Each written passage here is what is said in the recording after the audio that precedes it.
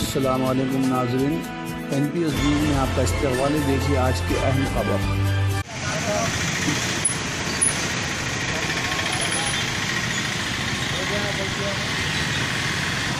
हाँ?